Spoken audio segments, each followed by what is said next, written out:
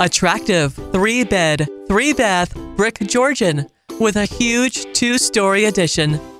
Highlights include a family room with a wood burning fireplace, kitchen with stainless steel appliances, granite countertops, and breakfast bar.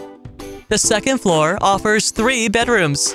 Outside, enjoy a landscape yard, paver patio, and a three car heated garage.